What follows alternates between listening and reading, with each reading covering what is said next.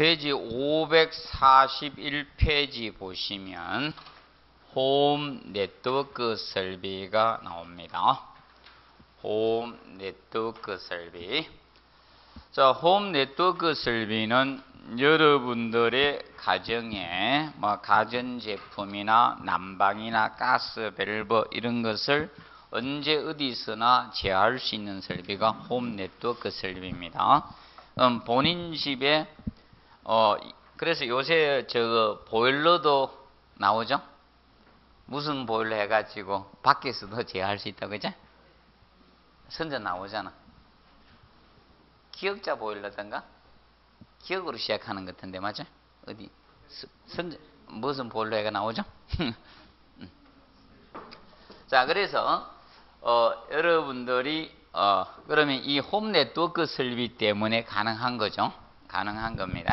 그래서 이 홈 네트워크 설비는 우리, 어, 아파트가 자꾸 첨단화되고 있기 때문에 에, 이제 이 범위가 시험 범위에 들어갔습니다. 11회 때부터 들어가서 거기 보시면 페이지 542페이지 2번에 홈 네트워크 서비스 기능 이것이 11회 때 기출을 했습니다. 처음으로 요 분야를 출제를 했는데 그런데 어, 이 분야를 이 책을 쓰신 분이 이 이론을 쓰신 분이 뭔가 하면 어, 건축가나 설비과 교수님이 아닌 다른 분이 쓰셨어요. 그래서 인정을 안 해주더라고요. 그래서 어, 11회 때 어, 행정심판 들어간 분들이 있잖아요. 이의 제기를 해가지고 행정심판을 들어갔는데 대학교 교수님들에게 도장 맡았는데 다 도장을 찍어줬어요. 100%한 명도 안 찍어준 사람이 없어요. 그래서 이걸 인정을 안 하더라고요. 그래서 올답이 됐습니다. 그래서 이 분야는 못 낼 것 같습니다. 그리고 542페이지 홈 네트워크 시스템 관련 기술 나오죠. 자, 그곳은 저거 2번에 무슨 통신 기술 가지고 나왔었습니다. 무슨 통신 기술. 그러면 유선 기술이 있고요. 무선 통신 기술이 있는데 그러면 유선 기술에는 1번에 전력선 우리가 통신이 있고요. 그러면 집에 보시면 각 가정의 아파트에 이미 뭐가 다 돼 있습니까? 전선이죠. 전기선이 다 돼 있지 않습니까? 그걸 통해서 하는 것이 바로 전력선 통신 개념이 되는 거예요. 전력선 통신. 음. 그래서 전력선을 이용하는 거, 전기선을 이용하는 게 전력선 통신이고요. 그 다음에 2번에 보면 홈 P&A가 나옵니다. P&A. 홈 P&A는 집에 이미 전화선이 다 가설되어 있죠. 이 전화선 가지고 하는 것이 바로 자, 홈 P&A고요. 그 다음에 3번이 I, I 1394. I 1394는 여러분이 적으라고 보시면 됩니다. 자, 아파트, 어, 여러분 옛날에 보시면 저겁니다. 비디오나 오디오 같은 걸 TV하고 다 연결했었죠? 네, 그래서 오디오 이런 걸 연결한 그 케이블 있죠? 그것이 I 1394입니다. 1394. 간단히 그러면 과연 여러분들 집은 그럼 I 1394를 하게 되면 문제가 선을 갖다가 집에 막 깔아야 되죠. 문제가 생겨. 그래서 아마 하게 되면 만약에 이걸로 많이 하지 않겠나요? 이미 전화선이 어떻게 다 깔려 있죠. 네, 그걸 하는 경우가 있을 거고 그러면 아니면 이제 이제 무슨 통신 기술을 쓰겠죠. 무슨 무선 통신 기술을 쓰는데 자 무선 통신 기술에서 지금 현재 우리 주변에서 많이 쓰고 있는 것이 무선랜 개념 아닙니까? 무선랜 무선랜은 여러분들 쉽게 자 바로 뭐예요? 와이파이입니다. 와이파이 와이파이 존 와이파이 존 하죠? 와이파이가 무선랜입니다. 그런데 이거는 반경 너무 멀으면 돼 안 돼요? 안 되죠. 일정한 거리에서만 가능하죠. 그래서 무선랜 와이파이입니다. 그래서 이거는 보통 한 100m 정도 돼. 실제 100m까지 되나? 물론 가까이서도 밀리더라고요. 근데 내가 보니까 많이 사용할 때는 기종이 좋아야 되죠. 핸드폰 기종이 좋아야 돼 보니까 아 나는 아, 기종이 후- 요새 하도 폰이 많이 나오니까 기종이 후지니까 나중에 어떻게 된가 와 지금 막 밀리대 바로 밑에서 와이파이 바로 밑에서 해도 안 돼 맞죠? 어. 그래서 여러분들 어, 와이파이 여기 이거 믿, 믿고 절대 동영상 보면 안 돼요. 이거 아, 자기 튕겨요. 스- 어, 3G는 LG로 LT로 바뀌죠. LT 하는 사람 절대 동영상 보지 마세요. 집에서 저걸로 봐요. PC로 보세요. 맞아? 화면도 크고 낫지. 그 집에서 휴대폰으로 본다고. 그래서 어, 어, 눈벨이야 눈 시력벨입니다. 와이파이고 그 다음에 어, 블루투스 블루투스는 우리가 휴대폰 간에 여러분들 보통 요거 많이 쓰죠? 여기 이제 이 초창기는 귀에 꼽는 걸로 나왔고 요새는 요 목걸이용으로 나왔죠? 아무도 없습니까? 걔 목걸이 아이 검은색이 흰색 해가지고 여기 해가지고 요 이어폰 이렇게 꽂는 거 있잖아요 목걸이형으로 해가 아무도 없습니까? 아, 에? 아무도 없습니까? 어. 어, 비싸긴 비쌉니까? 어. 자, 그래서 이 블루투스고 이 휴대폰 간에 하는 거고. 근데 요거 이제 봐도 요거 아니면 요거는 이제 반경 100m 정도까지 가능하다. 이. 100m. 그래서 그럼 아파트는 뭐 반경 100m는 다 들어오죠. 맞죠? 아파트는. 아파트가 반경 100m 안 들어오면 아파트 평수가 얼마나 커야 돼? 맞죠? 그리고 자, 그다음에 이제 어, 보실 때 자, 이제 홈 RF가 나오죠. RF. 요거는 집에 이제 PC 중심으로 퍼스널 컴퓨터 PC 중심으로 홈 네트워크를 구현하는 기술이 홈 RF입니다. 그래서 아마 앞으로 시험은 고르는 게 나올 수 있습니다. 이 기술이 무엇입니까? 이렇게 고르는 유형이 나올 수 있다. 그거를 좀 대비를 좀 해놓으세요. 어, 보시고 그 다음에 어, 페이지 544페이지 보시면 페이지 544페이지에 자, 이 용어 올해는 이 용어가 포인트가 될 것 같아요. 용어가 올해 용어 쪽 용어 쪽을 잘 보세요. 앞전에 이 뒤쪽을 전체를 해서 종합 문제가 냈거든요. 종합 문제를 냈습니다.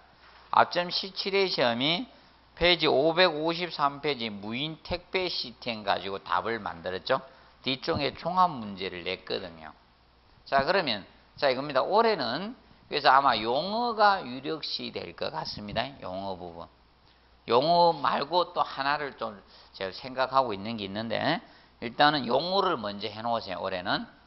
그래서 어, 앞전 17회 시험은 553페이지죠. 무인 택배 시스템에서 나올 게 이거 설치 기준에 2분밖에 없거든요.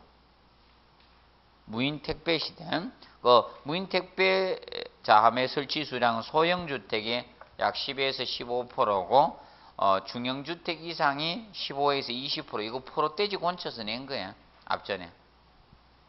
이건 낼거 이거 딱 하나 이거밖에 없거든요. 자, 그러면 올해는 아마 올해는 아니 몰라도 돼. 앞전에 거 몰라도 돼. 앞 앞전에 건 안 내니까. 그래서 올해는 이 용어를 잘 봐야 돼. 용어. 그럼 용어가 지금 기출된 것이 이겁니다. 기출된 것이 뭘 기출했는가만 저걸 기출했어요. 그 4번에 단지 네트워크 단지 네트워크 장비를 냈고요. 네트워크 장비를 냈고요. 근데 이거는 개별 문제로 내세요. 개별 찾는 문제죠. 개별 문제로 출제했고요. 그리고 20번에 보면 이거는 용어를 총합을 내면서 종합 문제로 20번을 낸 거예요. 종합 문제로 내면서 냈어요. 그러면 20번은 또 낼 수 있다는 거예요. 20번은 단지 네트워크마다 센터는 또 낼 수 있습니다. 얘는 개별 문제가 아니었다는 겁니다. 자, 그러면 여러분들 이제 보실 때 전체를 다 보면 힘들어서 안 할 것 같고요. 다 하락하면. 다 하락하면 안 하죠. 그래서, 자, 1번, 2번, 3번을 공부하시면서 1번, 2번, 3번 용어. 특히 홈 네트워크 망이 나오죠. 망이 나오고 망에는 자 여러분들이 이겁니다. 여러분들이 일일이 자막 자 위성에다 쏠 기계 들고 다닐 수는 없죠. 쏘면서 집에 기지국 설치가 바닥고 이럴 수 없죠. 그러니까 결과적으로 무엇입니까? 다른 망을 필요하겠죠. 그럼 여러분들이 일단은 KT나 SKT 이런 통신망을 활용해 가지고 아파트에 일단 쏠 거 아닙니까? 맞죠? 아파트에 쏘면 거기에서 아파트에서 다시 여러분들 집까지 와야 되죠? 단지망이 필요하고 단지에서 또 세대에도 망이 필요하죠? 그러면 단지망이 필요할 거고 세대망이 필요할 겁니다. 그러면 자 이겁니다. 그럼 항상 공유 부분을 먼저 냅니다. 시험은 관리적인 측면이 전유 부분이 강해요. 공유 부분이 강해요. 공유 부분 강하죠. 그래서 공유 부분을 용어를 낸 거예요. 단지 네트워크 장비하고 단지 네트워크 센터죠. 이게 공유 부분이거든. 그러면 단지망은 그래서 어디서부터 출발한다? 집중군의 통신실. 자, 집중구의 통신실을 줄여서 MDF실이라고 해요. 통신실에서 세대까지입니다. 어느 실에서 어디까지인지 정확히 알아두셔야 됩니다. 그래서 실들을 공부해 놔야 돼, 실들을. 그러면 이 실부터 출발합니다. 자, 집중군의 통신실은 그 용어의 17번에 보면 나와요. 17번. 그러면 통신과 관련된 게 16, 17이거든. 비교해야 돼. 16, 17을 비교해 놓으셔야 돼요. 통신배관실 TPS실하고 MDF실 집중군의 통신실하고 헷갈리면 안 돼요. 그래서 주의하십시오. 그래서 정확히 여러분들이 해 놓으시기 바랍니다. 그래서 통신배관실은 자 통신 파이프 샤프트 통신 단잠 설치한기 TPS 통신 배관실이고 MDF실은 국선이나 국선 단잠이나 국선 배선 반이나 또는 초고속 통신망 설치한 장비들 들어온 데가 뭐다? 집중군의 통신실입니다. 그러면 통신사 장비들이 여기 들어와 있어요. 집중군의 통신실. 그럼 여러분이 휴대폰으로 때리면 그 신호가 어디로 들어온다? 이게 오겠죠? 집중군의 통신실. 여러분들이 쌀수 없잖아요. 요리 오면 여기에서 세대까지 연결해 줘야 되죠. 라인이 필요할 겁니까? 그 망이 무슨 망이다? 단지망이라는 거예요. 단지망.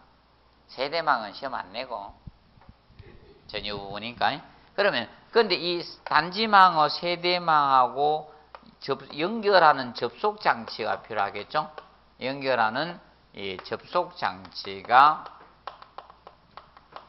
접속 장치가 바로 몇 번이다? 2번이에요. 2번.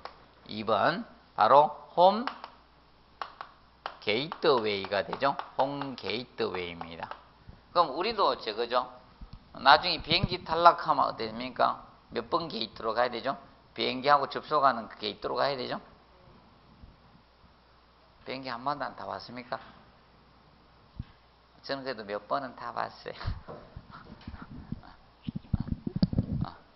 게이트. 그리고 아니 나는 비행기 안 타봤다 그러면 스타워즈 같은데 보면 어, 그 어, 비행 맞죠? 비행 작은 우주선들이 큰 이제 모선으로 들어올 때 있죠?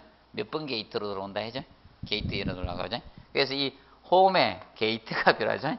게이트웨이입니다. 홈 게이트웨이가 접속하는 장치입니다. 그러면 홈 게이트웨이는 보통 어디에 설치해 놨는가 하면 설치가 저기 거기 설치해 놨어요. 세대 단자함에 세대에 보시면 여러분들 있죠? 전화나 이런 거 있죠? 초고속 통신망 같은 거 있죠? 단자가 설치한 데 있죠? 거기, 거기 다 있습니다. 여기. 전화 같은 거 있죠? 단자함에 여기. 그럼 여기에다가 홈 게이트웨이도 설치된 거예요. 접속장치 보시면 되고 홈 게이트웨이라 해요. 그럼 이거는 그럼 전유 부분에 있을 수밖에 없죠? 세대 단자함이니까? 원 전유 부분에 속합니다. 그리고 3번에 월패더가 나옵니다. 월패더는 거기 보시면 월패더는 어, 자, 지, 어, 여러분들 이겁니다. 집에 자, 저 인터폰이 있는 분들은 월패더가 없어요. 본인 집은 홈 네트워크 설비가 안 된다고 보시면 되고 우리 집에 인터폰이 없으면 어, 맞죠? 집에 인터폰 없는 집들 있죠? 우리 집은 인터폰 없다 손들어 보세요. 몇 분이 홈 네트워크 설비를 갖추고 있나 보게. 다 인터폰이 있어요. 다른 데는 인터폰 없는 집이 많던데. 새 집이 아니구나, 전부 다. 저하고 비슷하구나, 인터폰.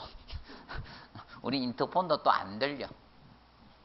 우리 집은. 아니, 밑에서 누가 고장을 내놔가지고, 자기네들 거 꽂히면서 우리 걸 고장 내놔가지고. 그런데 다 문을 다 열어가 그 라인을 다 열어야 된다 카대 집에 들어가서 확인해야 되는데 안에 있어 가지고.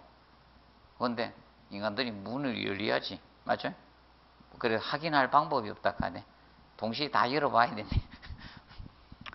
자 그리고 그 알아두시고 그래서 월패드가 홈네트 시스템을 제어할 수 있는 게 월패드죠. 그래서 월패드는 그 초창기 월패드만 찍어놨어요 페이지 546페이지 보면 월패드. 얘가 초창기 월패드 개념이에요. 얘가 초창기. 그래서 어, 인터폰이 안 달려 있습니다. 그래서 이렇게 난방이나 이런 걸 제어하는 것이 월패드입니다. 기억하시고 그 다음에 원위치 하셔가지고 그래서 자, 어, 그 시, 어, 16번부터 20번 시를 기억해 놓으세요. 16번에서 20번까지. 기억해 놓으시고 자, 다 전유 부분이 아니죠. 공유 부분이잖아. 맞죠? 그래서 16번에 통신 배관실하고 17번에 MDF실 두 가지 비교하시고 TPS실하고 MDF실 이거는 해드렸고 그 다음에 18번에 무슨 실 나온다? 방제실이 있고 방제실은 뭐 당연한 거예요. 방범이나 방제 안전 이런 걸 해서 여기 모니터 설치해가지고 우리가 일일이 자 관찰하는 데죠. 이렇게 보시면서 또 뭐도 합니까?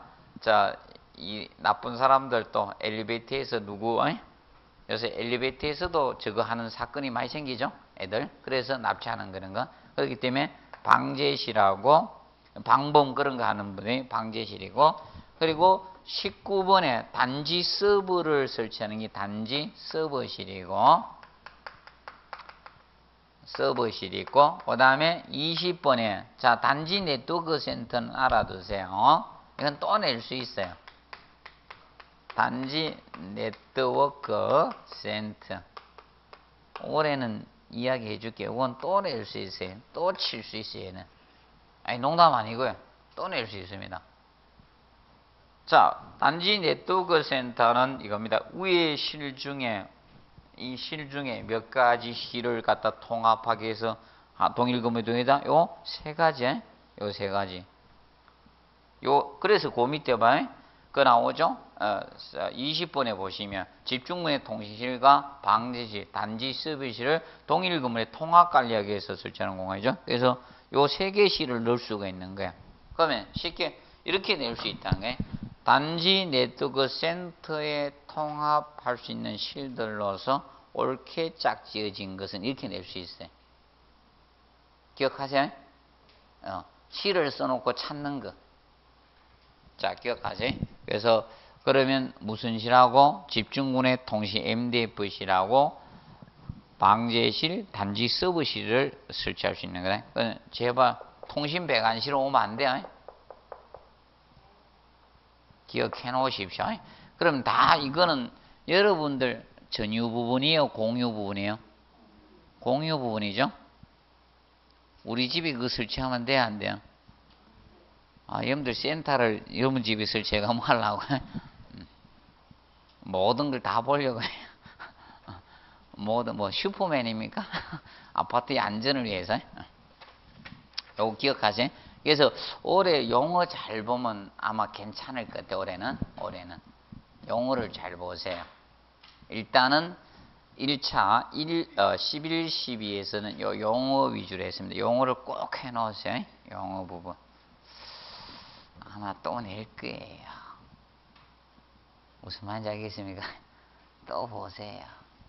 한해 쉽거든. 아마 또 낼 겁니다. 왜냐하면 뒤쪽에 이것저것 다 내가 수치를 중요한 수치를 웬만큼 다 냈거든.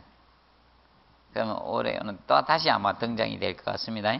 봐두시고 그리고 어, 낼 수 있는 것 어, 한두 개 타입이 있는데 그거는 나중에 한번 보도록 하겠고 그 다음에 마지막 장르 페이지 560페이지 보시면 전기설비 자, 이 전기설비는 전기는 어, 요새 에, 난방한테 잽도 안 돼요. 에? 난방은 세 문제 나오는데 전기는 한 문제 냈습니다. 자, 왜냐면 전기세 가지고 전, 잘 전화 안 오죠? 전기세 안 내가지고 우리가 괴롭죠, 맞죠? 우리가 괴롭고 내라고 하고. 근데 난방 때문에는 전화가 많이 오죠? 맞죠? 아, 막 또 직접 잘 안 와. 맞죠? 직접 오는 사람들은 완전 다혈질이죠. 맞죠? 아니, 가격한 사람들 직접 오죠. 근데 웬만하면 전화를 하죠? 아닙니까? 웬만하면 전화가 막 난리야. 그래서 우리 와이프도 난방비 때문에 난리 난다 그래서 내 얼굴을 봐서 참아라. 네 그래 놓으면 어, 왠가면 아파트에 분명히 나를 아는 사람이 있을 건데 맞죠? 어, 있을 건데 네 가서 막 꺼놓으면 나중에 좀 뭐 내가 뭐 되겠네? 내가 참아라 그냥 좀 부당하더라도 좀 참아라겠지. 아니 앞전에 있는 아파트에서는 우리 와이프가 불렀는데 내 없을 때 불렀는데 내가 딱 들어가니까 불렀을 몰랐는데 내 이랬더니 나도 그리고 그게 내가 까만 옷 입고 있으니까 그때 한동안 아래 위에 까만 옷을 줄이는 옷싹 입고 있으니까 맨날 양복 입고 이래 입고 있다 보면서 보다가 이제 까만 옷 입고 있어. 그래서 설마 맞겠나 싶어서는데 어, 혹시 시설결혼 쌤 아니십니까? 그래 이거 어? 그래가지고 그래 제가 옛날 롯데 아파트 롯데 캐슬인가 그 살 때 한번 그래 마주쳐가지고. 그다음부터는 절대 불리지 마라 갑니다. 있으면 부르지 말게. 내가 없을 때만 부르고 혹시나. 그래서 그렇게 나중에 또 그리고 그때 근무하는 보통 3년까지는 하자 보수팀 밑에 있죠. 하자 보수 팀도 건설회사 사람인데 내 아는 사람인데 그래요. 뭐든지 불러만 주세요. 이래 그래 다 건쳐 줄게요. 이래 근데 안 불렀죠 내가. 어, 나는 대신 후배한테 다 들고 오라 했습니다. 뭐 문고리 필요하다 문고리 새 걸로 싹 들고 가라 이래고 내가 다 갈아주고 나왔습니다. 그 아파트. 아, 후진 거 달아놔가지고 최고급으로 다 달아주고 나왔는데. 자, 그래서 이 전기설비를 보시면 전기설비는 13장은 자, 이거는 한 문제 내지 두 문제를 내는데 최근에 계속 한 문제 내고 있어요. 어. 최근에 계속 한 문제 나오고 있습니다. 그럼 제가 어, 한 두시간이나한시간 반 정도 강의하면 두 문제가 나올 거고요. 한시간 알로 강의하면 한 문제입니다. 그렇게 보시면 됩니다. 그러면 이 전기설비는 보시면 자 그래서 제일 먼저 크게 이렇게 나눠놔서 1이 전기 설비의 개요를 다뤄놨고요. 개요고요. 이거는 몰라도 돼요 사실. 그래서 요새는 유형이 내일 유형이 아닙니다. 옛날에 초창기에 냈고요. 두 번째가 넘기지 말고요. 넘기지 말아요. 강전 설비인데. 그리고 세 번째가 약전 설비입니다. 약전 설비. 그러면 강전하고 약전의 구분은 뭘로 하는가 하면 구분은 구분은 이걸로 구분합니다. 강전과 약전은 60볼대지. 60볼대지로 구분합니다. 이거보다 크면 뭐다? 강전. 약하면 뭐다? 약전입니다. 약전입니다. 그리고 그래서 약전 버려. 약전. 이거 버리면 돼. 약전 버리고. 그리고 어, 사장이 방제설비입니다. 방제설비. 그리고 5장이 조명설비인데 그러면 최근 시험 문제가 어디서 나오는 나왔는가 하면 여기에서 나왔어요. 16회 때도 여기에서 냈고 17회 때도 여기에서 냈어요. 17회 때도 연속 세 번 연속 낼 걸 대비해서 조명은 해야 됩니다. 연속 낼 수도 있어요. 자, 왜 그런가 하면 강전설비가 연속적으로 쭉 냈었거든요. 15회 때까지 연속적으로 냈습니다. 여기가 강전이. 여기가 13, 14, 자, 15회 계속 냈습니다. 여기에서. 여기서 계속 출제했거든요. 그러다가 지금 조명으로 왔어요. 그럼 방제가 나올 때가 한 번 돼가요. 방제가. 그래서 앞전에 17회 때 피레설비가 17회 안 나오면 18엔 100% 나온다고 했습니다. 그래서 이 방제설비를 해야 됩니다. 방제설비. 그럼 잘하면 올해 두 문제가 될 수도 있을 겁니다. 고민 좀 해보고 시간을 좀 느리면 두 문제 하십시오. 그러면 방제설비는 피레설비를 꼭 해야 돼요. 피레설비를 이렇게 보시면 돼요. 항공장애 등은 좀 생각 좀 해보고 조 땅콩 때문에 어, 몰라요. 우리 와이프하고 아주머니들이 다집 아파트 아줌마들이 조현아를 조 땅콩이라 부르대. 몰라 그 스튜디오스들한테 있잖아요. 대한항공 다니는 분들한테 유명하던 것만 걔들 삼남매가 삼남매 유명하고 그 위 때도 문제라 하면 지금 대한항공 있죠? 조양호 회장도 그 부류들도 문제였다 카네. 그 위에가 교육을 잘못 시켰는가 봐요. 자식 교육을 맞아? 그게 똑같이 대물림하는 것도 안 그러면 어, 품종이 그렇든지 둘 중에 하나겠지. 그래서 그래서 아마 처벌 받을 것 같죠? 맞죠? 아니요, 저 케이스로 아마 받을 것 같아. 케이스. 그 미국에서 잡혔으면 오래 살 건데. 미국에서 잡혔으면 최하 10년은 살 것 같은데. 미국에서 때리면 10에서 20년 때릴 것 같은데. 우리나라는 최대가 10년이죠? 최대가 10년이니까, 뭐, 과연 검사들이 몇 년 구형 때릴까요? 한, 한 2년 때릴 것 같아? 그게 검사 마음이겠죠. 자, 일단은, 와, 그러면, 자, 그러면 이겁니다. 그럼 가능성적인 측면이 여기가 높을 가능성이 높습니다. 그리고 이것도 해야, 하긴 해야 돼요. 왠가 하면 자꾸 2차에도 내니까. 2차에도 시험을 내거든, 여기에서. 그렇다 보니까, 어, 방제 설비하고 조명 설비를 조금 많이 공부하십시오. 일단은. 자, 일자, 요걸 보시면서. 그러면, 자, 페이지 여러분이 이거 방재 설비는 꼭 하세요. 피뢰침은. 그래서 페이지 몇 페이지 보시는가 하면 585페이지 보면 방재 설비가 나와요. 페이지 585 맞죠? 페이지 585페이지 보면 방제 설비가 나오는데 아 흐름은 이거거든요. 여, 이거는 그냥 한 번 내고 바로 다른 도로 옮깁니다. 연속 안 냅니다. 얘는 이거 내고 바로 다른 도로 바로 튑니다. 얘가 12회 때 냈습니다. 가장 최근 시험이 12회 때 냈습니다. 그 이전에는 7회 때 냈어요.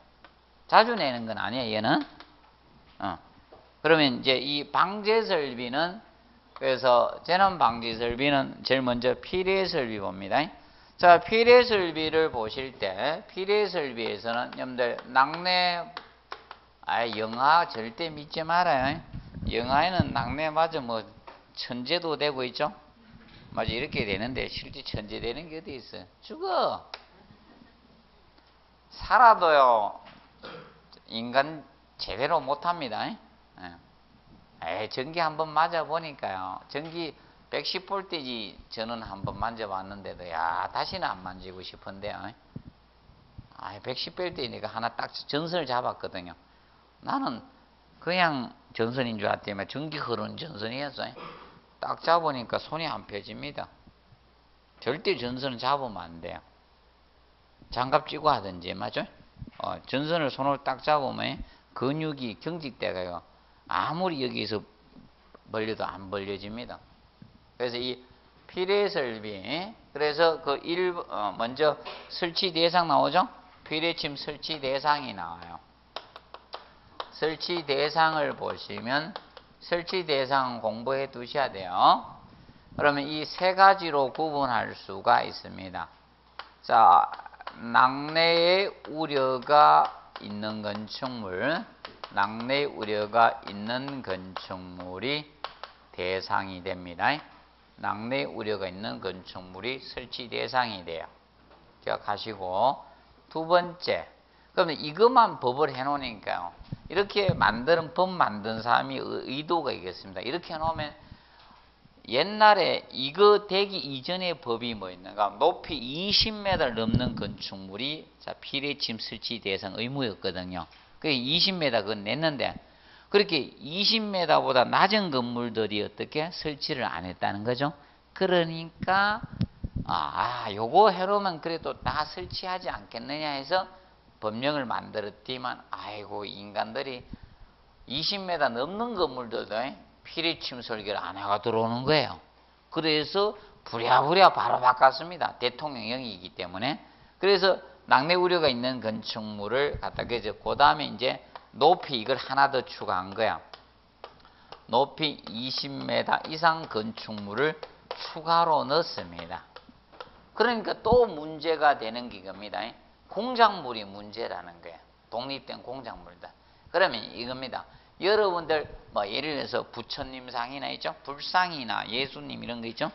이런 거 자유연인 이런 것들이 있을 수 있는데 그러면 그런 공작물도 규제하기 위해서 높이 20m 이상의 자, 이 공작물 이 세 가지가 피레 설비 설치 대상을 가지고 있는 거예요. 그래서 얘들이 어, 이 피레 설치 의무예요.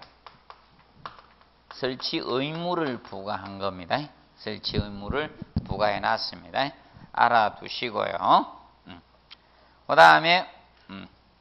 그 다음에 피레침 설치 규정이 나오죠. 2번에 보시면 설치 규정이 나오는데 근데 설치 규정에서 답을 유도할 수 있는 데가 2번, 3번, 4번, 5번이거든요.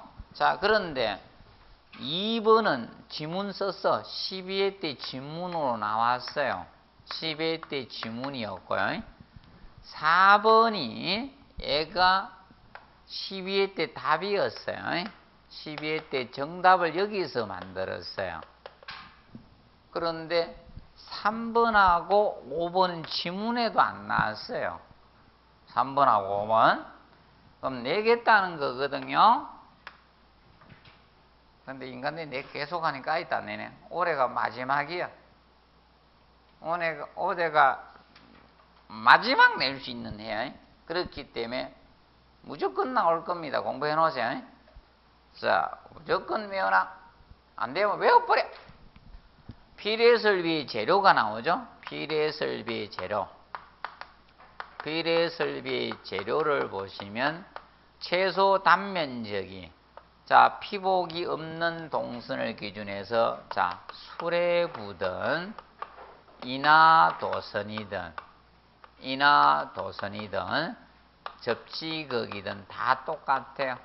그러면 수레부는 낙내를 받는 곳이 수레부고 어, 이 인하조선은 수레부에서 낙내를 받은 그 낙내를 접지구로 전달해 주는 선이 인하조선이고 그리고 접지극이 낙내를 집안으로 방전하는 것이 마다 접지극이죠. 이 다 얼마다 모두 50입니다. 50제곱미터 이상이 돼야 된다. 단면적이. 여기 최소 단면적이다. 최소 단면적이 요거 이상 돼야 된다는 겁니다. 최소 단면적이. 기억하시고요. 그리고 가장 유력시 되는 거는 5번이죠. 이 측면 수레부가 될 가능성이 제일 높습니다. 측면 수레부. 자, 자, 건물이 자꾸 높아지다 보니까 어, 사실 이겁니다. 피레침을 설치한 저 적은 건물의 피레침은 여기만 설치해도요. 어, 이렇게 보호각이 있기 때문에 충분히 어떻게 됩니까? 위에서 낙내는 떨어지니까 충분히 뭐다 커버할 수 있죠. 근데 건물이 자꾸 하늘에 가까이 끼 올라가고 있죠. 그러니까 그 이 건물이 자꾸 높아지니까 문제가 이겁니다. 비례침을 여기만 설치해 가지고는 이, 이 높은 부분 있죠. 여기가 낙내로부터 위험하다는 겁니다. 이 부분이. 맞죠? 그래서 왠가면 사실상 이겁니다. 최근에 여러분들 건물에 보면 뭘 많이 사용하고 있습니까? 외부 부분을. 유리로 조립하지만 그 뼈대는 뭐가 됩니까? 뼈대, 뼈대 같은 거는 거의 다 저거잖아요. 금속이잖아. 맞죠? 그러니까 조금 위험하다는 겁니다. 그래서 여기에다가 뭘 설치하라? 측면 수레부도 설치하라 이게 측면. 수레부를 여기만 설치하지 말고 수레부를 갖다가 낙내를 받는 수레부를 여기만 설치하지 말고 상단에만 여기 측면 수레부도 여기도 설치 추가로 설치해 주라 이겁니다. 그런데 그, 그 기준 꼭 체크하세요. 측면 낙내를 방지하기 위해서 높이 몇 메다? 60m를 많은 거 초과하는 게 대상이죠. 그래서 요거는 끼기가 꼭 하세요. 60m 초과입니다. 초과는 넘는 개념이죠. 자, 이 초과가 되기 때문에 그러면 60m는 대상이 돼 안 돼요? 안 됩니다. 60m는 측면 수레부 설치 안 해야 돼요. 60, 정확히 60m 건물은. 넘는 초과는 60m 넘어야 된다는 거예요. 초과되는. 넘는 초과는 기산점을 포함하지 않습니다. 이상은 포함하지만 넘는은 포함되지가 않는 거예요. 그것을 꼭 기억하십시오. 그럼 이때 그럼 이 건물이 100m짜리 건물이라 가정합시다. 100m짜리. 그 100m짜리 건물이 되면 자 대상 되겠죠? 측면 수레부를 설계할 때 하라. 그러면 여기만 설치하지 말고 수레부를 그 높이가 얼마 되는지부터 5분의 4 되는 지점. 그럼 100m짜리 건물이니까 몇 m부터 80m부터 건물 상단까지 측면 수레부를 설치해 주라 이 뜻입니다. 측면 수레부. 그래서 기준. 그래서 60m를 꼭 기억하세요.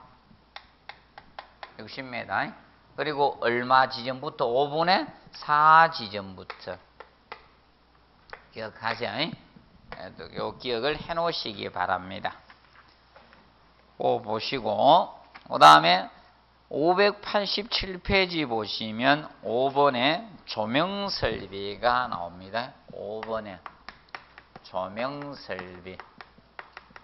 자, 조명 설비는 조명 설비는 자, 보통 이 다, 어, 거기 단위 나오죠. 첫 번째 단위, 조명의 단위가 이건 두 번 기출을 했습니다. 단위 개념 가지고는 두 번 출제했고요. 근데 또 내기는 좀 그렇습니다. 그냥 간단히 기억하세요. 강속은 강원에서 나오는 빛의 양을 뭐라 한다? 강속이라 해요. 단위는 루멘을 쓰고 있고요. 루멘. 그리고 LM 있죠. 그리고 조도는 어느 장소에 대한 밝기가 뭐다?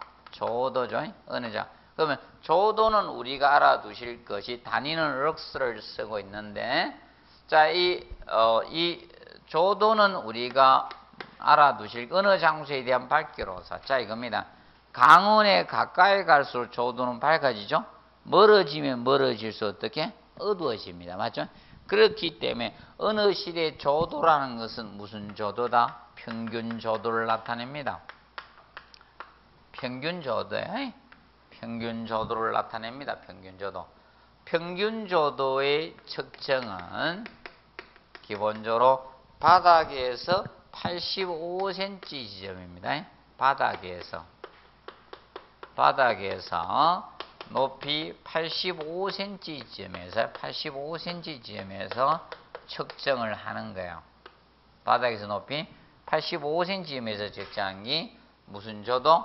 평균 조도예요. 평균 조도. 작은 면의 조도를 기준 잡겠다 이게 작은 면. 평균 조도입니다. 그래서 어, 옛날에 주차장법에서 한번 냈어요. 주차장 조도 해가지고 아 여기는 그래서 그래서 개론이야. 개 같은 이론이라고. 오만 거다 갖다네요. 아, 막 성강기도 법에서 땡겨다 내고, 아, 저, 뭐야, 저, 아까 남방도 법에 그, 저, 법령, 건축법, 그 관계법규에서 안 보는 법령이 있죠? 예하법령 막 땡겨다 내요. 어. 자, 그래서 이 주차장, 주차장의 이 평균 조도 가지고 옛날에 냈었어요. 평균 조도는 76수입니다. 이거 가지고 시험을 냈었어요. 평균 조도. 자, 그런데 혹시 알아두기 위해서 자, 이겁니다. 조도는 거기 식 하나 나오죠?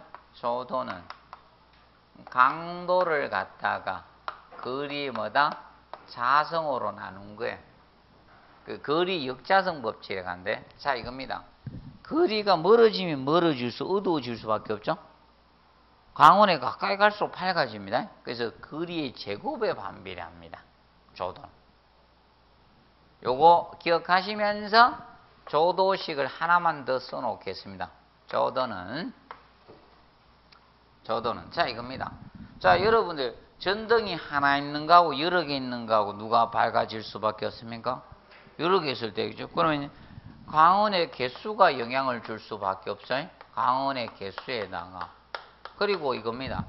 강속을 강을 잘 바라는 기가 좋겠어요. 잘 못 바라는 게 좋겠어요. 많이 바라는 게 좋겠죠. 자 쉽게 이겁니다. 여러분들 있죠. 옛날에 배, 자 백일등이라 봅시다. 어, 와트 수가 높은 게 좋아요. 낮은 게 빛을 잘 발해요. 자 5와트짜리하고 100와트짜리하고 있었어요. 그럼 누가? 배가 광속이 100와트 많이 하죠. 어, 강속이 클수록 그럼 이거 밝아질 거 아닙니까? 강속에다. 그런데 항상 100% 일은 해요, 못해요? 못해. 유리죠. 그래서 자 우사인 볼트가요.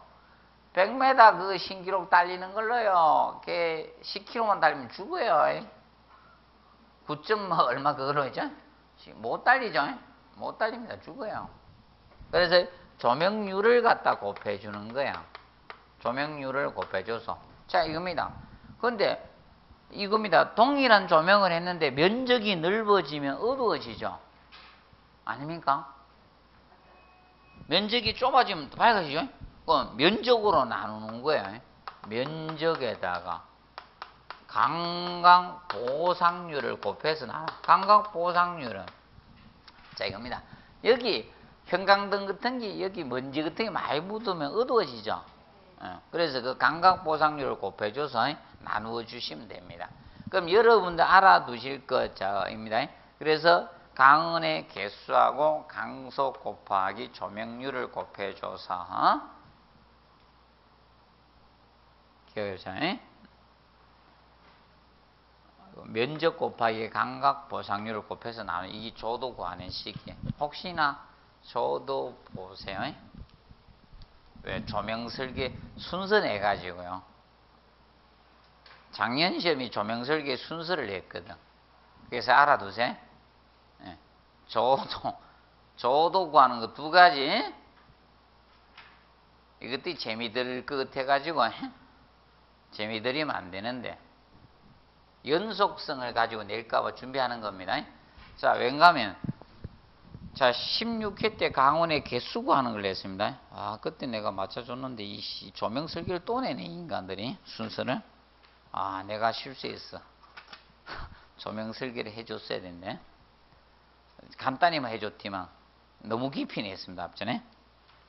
보시고, 그 다음에 588페이지 보시면, 저 강원이 나와요. 강원에서 보시면 자 588페이지 박스 밑에 보면 강은 나오죠.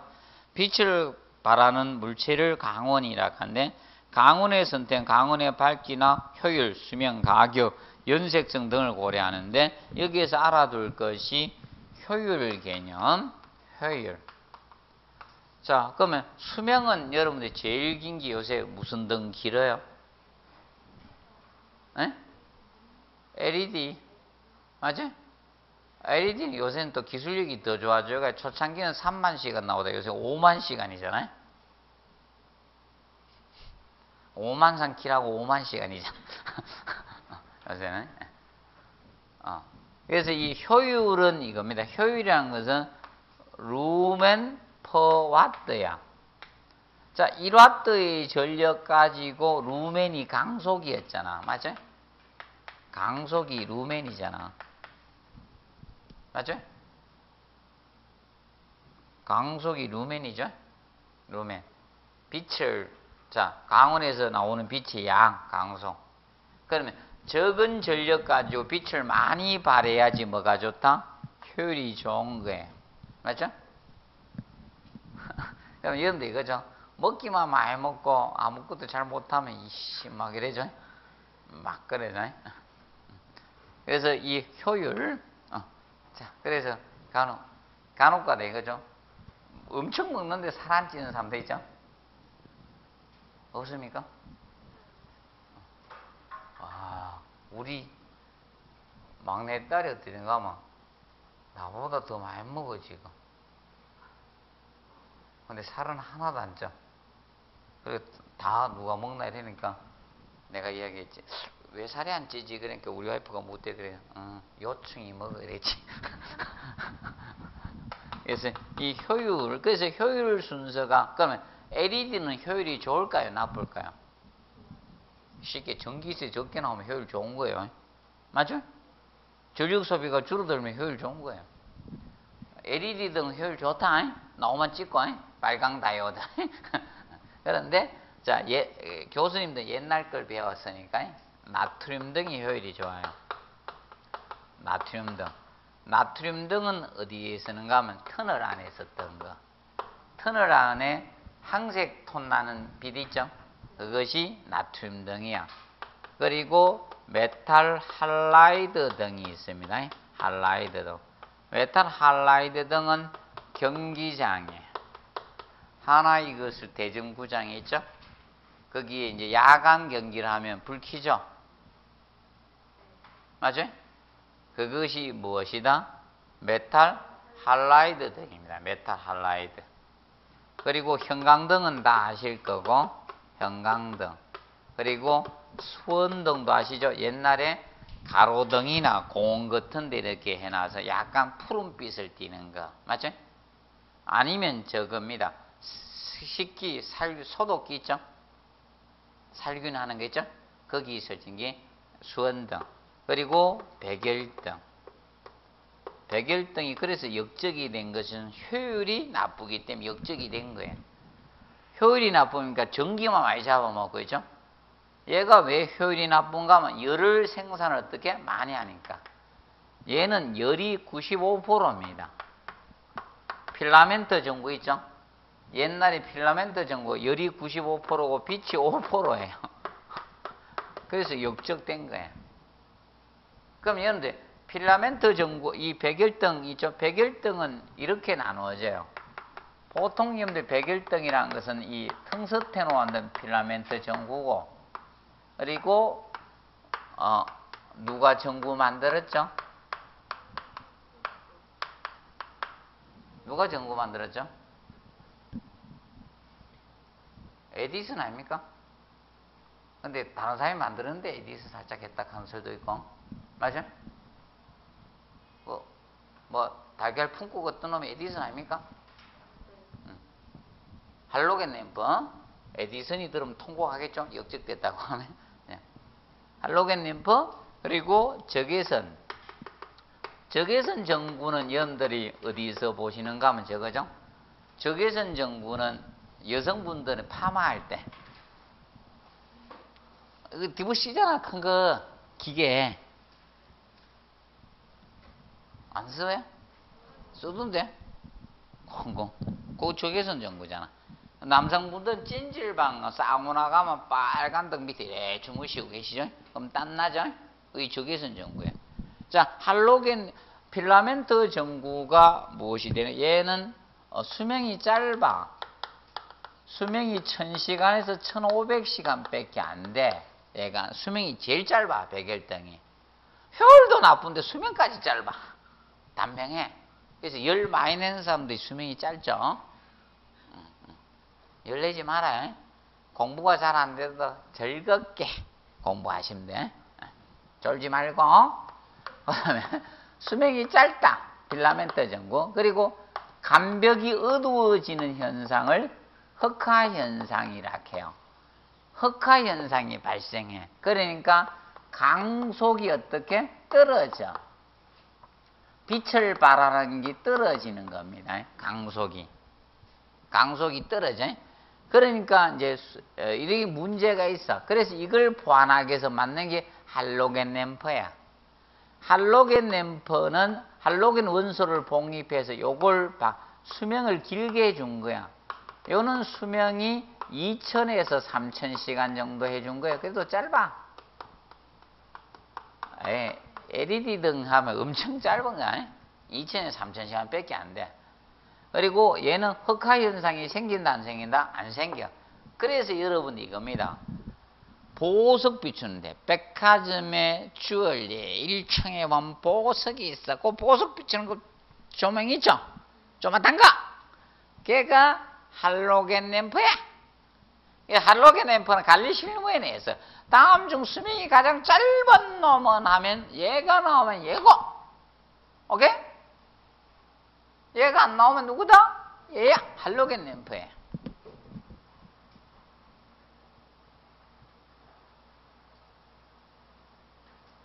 백일등이 이세 가지가 백일등이에 기억하시고 그런데 기억하시고 그런데 아직 당분간 요거는 사용될 겁니다. 왜냐하면 요걸 키내야지 보석이 반짝반짝하거든. 맞아? 보석이. 어, 이상하게 보석도 고기 있을 땐 더 아름답죠? 조명빨이라서 그래. 내가 차고 있으면 별로야.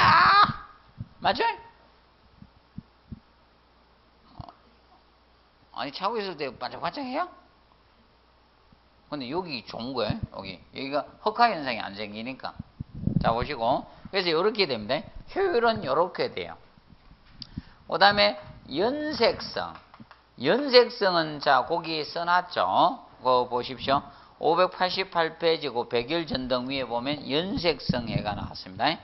강원에 따라 물체의 색을 구별할 수 있는 능력을 뭐다? 연색성이라 해요. 자, 그럼 뭔가 하면 자연광, 태양광 아래에서 태양빛 아래에서 본 색깔 그대로를 인공 조명 아래에서 얼마나 판별할 수 있는가 그것이 연색성이에요. 자, 그러면 간단히 밖에서 본 색이나 안에서 본 색이 비슷하면 연색성이 좋은 거예요. 그러면 요 등들 중에서 연색성 순서는요. 백열등은 다 나쁘면 안 되잖아요. 백열등이 좋긴 좋아요. 메탈 할라이드, 형광등, 수은등 되는데 나트륨 등이 연색성은 나빠요. 연색성은 나트륨 등이 나쁩니다. 연색성은. 그러면 효율에서는 딱 한 번 냈었어요. 순서 낸 건 아니고요. 나트륨, 효율이 가장 좋은 것을 찾으세요. 한번딱 냈어요. 초창기 때. 2회 때인가 아마 그, 아마 2회 때인가 냈을 겁니다. 효율에 대해서 한번 냈었습니다. 아, 최근에 왜 여길 또 조명을 또 하는가 하면 초창기 때 이쪽에, 이쪽에서 많이 냈었거든. 최근에 다시 조명해서 또 내고 있네요. 자, 그래서 한번 보세요. 순서는 한 번도 안 냈어요, 이거는. 유일하게 조명 설계 순서만 냈어요. 조명 설계 순서만. 기억을 해 두시고요.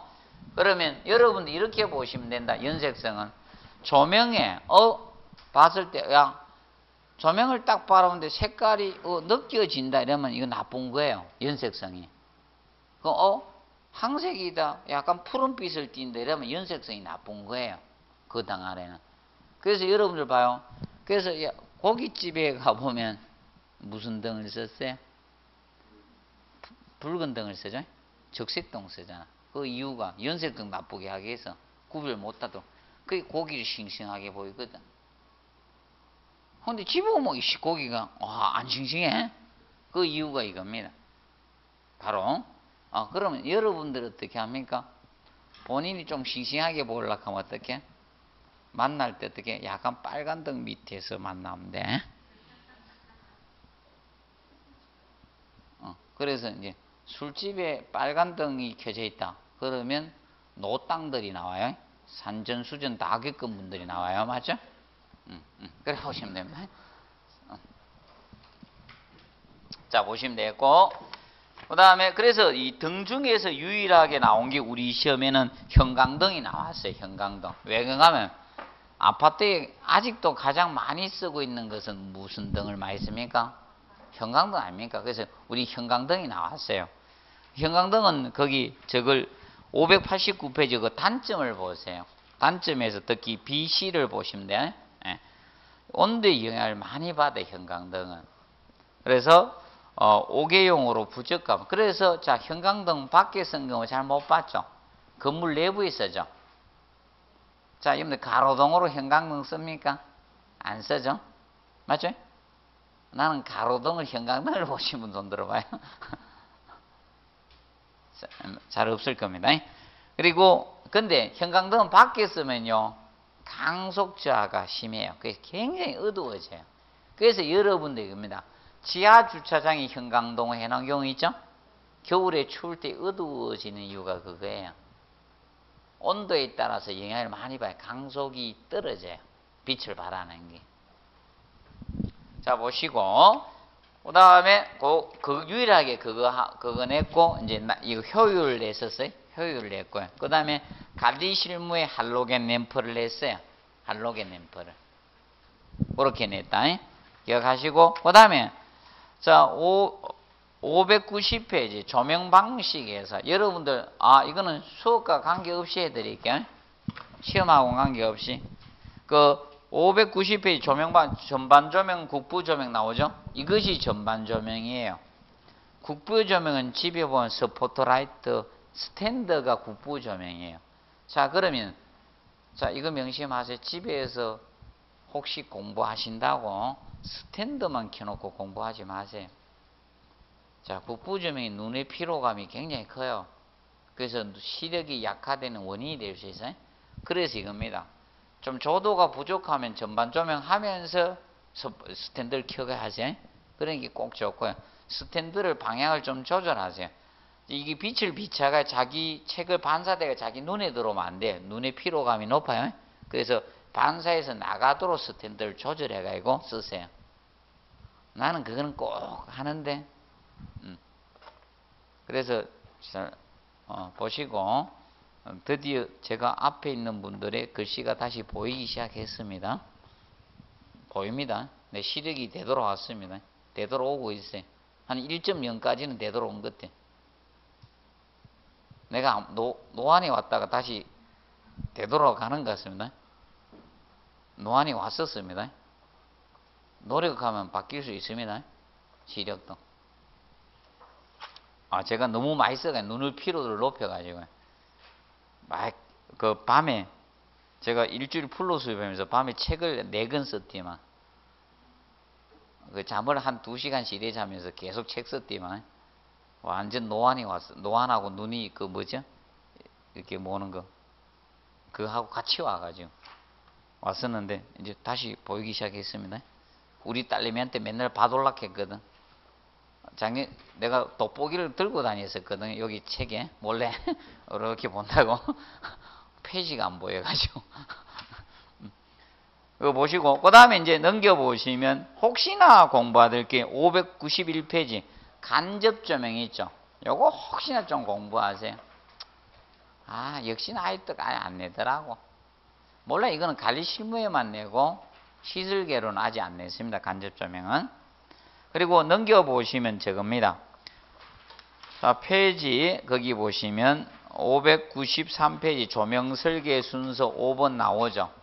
이 조명, 이, 이 설계 순서가 지금 현재 우리 시험에 몇 번을 냈는가만 자그마치 세 번 내서 순서 중에서 5회 때 내고 어, 8회 때 내고 17회 때 냈습니다. 어, 올해는 할 필요가 있어 없어요? 없어요. 앞에 낸 놈은 절대 하지 말아라. 제 이론입니다. 절대 하지 마세요. 자, 왜 그런가 하면, 자, 594페이지 보면, 자, 594페이지 강원의 개수 구하는 식 나오죠? 여기 몇 회 때 나왔어요? 16회 때 냈잖아. 그 16회 써놓으세요. 16회. 여기 16회 때 내세요. 강원 개수 구하는 게. 그러면, 이것도 하지 말아요. 이것도 하는 거 아니에요.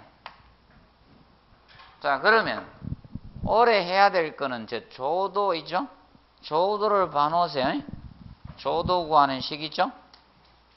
평균 조도는 바닥에서 몇 cm 위에서 측정한다? 85cm 높이에서 측정합니다. 85cm. 그리고 조도를 구하는 식은 강도를 거리 자성으로 나눠서 구해도 되고요. 아니면 강원의 개수 곱하기 강속 곱하기 조명률을 곱해서 분모에서 뭐로 난다? 면적 곱하기 감각 보상을 곱해서 나눠주면 돼요. 조식을 조금 알아두고 자 595페이지 전기설비 도시기호가 한 번 딱 나왔거든요. 그 나왔는데 다섯 개 지문을 땄는 데 어디까지 땄는가 하면 저기까지 해가 땄어요. 596페이지 7번에 배전반 분전반 나오죠? 여기까지 해가지고 해서 시험을 냈었어요. 그러면 우리가 8번만 해놔요. 다 하락하면 안 할 거고. 에이, 역사상 한 번 냈는데, 이 도시기호를 다 외우라 하면 여러분들 외우고 계세요? 안 외우고 계세요? 안 하지. 맞아요? 그건 전공자만 맞추는 거고, 그건 비전공자를 위해서, 자, 여러분들 이겁니다. 왠가면, 앞에 정답 어, 유도한 것이 저 누전 차단기 가지고 했거든. 596페이지에 거기 5번에 개폐기와 계기 나온 거 있죠? 여기에서 누전 차단기 가지고 답을 유도시켰어요.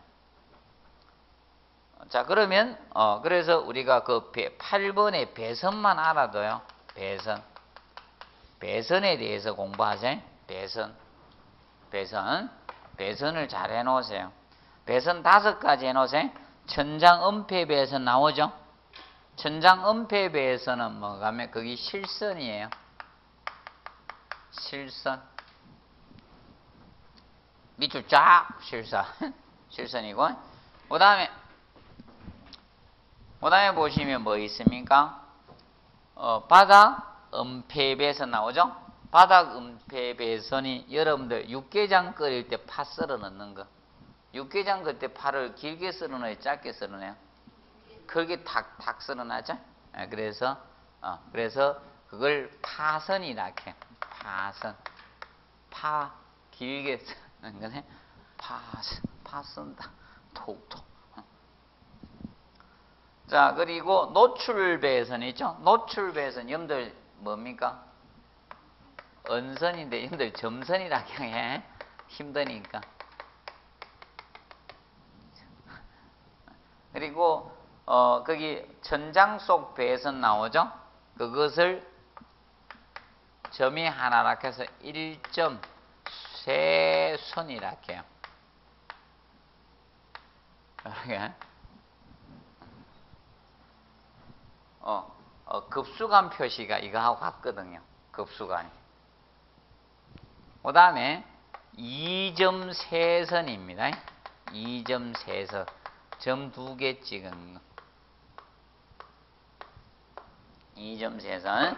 그래서 어, 자 바닥면 노출 배선이 2점 세선입니다. 자, 이 다섯 개 선 알아두세요. 전기는 기본이 이거 아닙니까? 맞죠? 어, 이런 개폐기나 이런 쪽 다 해가 냈으니까, 한 번 냈으니까. 분명히 이거 다룰 겁니다, 한 번. 한번 봐두세요. 그리고 나는 더 공부해야 되겠다. 접속전까지 같이 보고. 오래 공부해 놓으시면 됩니다. 그래서 이번 과정에는 요 위주로 해서 자, 1, 어, 11, 12를 하고요. 그 다음에 12월, 자, 1, 2월 과정에는 약간 더 깊게 들어가도록 하겠습니다. 기본적으로 이제 출제 가능성이 높은 위주로 해서 조금 더 깊게 들어가도록 하겠습니다. 시험. 깊게 들어가면 싫어요? 아, 어려운 거 깊게 들어가는 게 아니고, 네, 세부적으로 조금 깊게 들어가도록 하겠습니다. 어, 어, 이번 강의는 여기서 마치고 그리고 어, 얼미년 새해 복 많이 받으십시오. 자 오늘 여기서 마치도록 하겠습니다. 자 수고했습니다.